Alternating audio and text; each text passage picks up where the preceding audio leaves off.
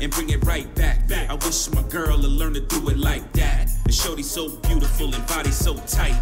I could kick back and watch her dance all night. That's right.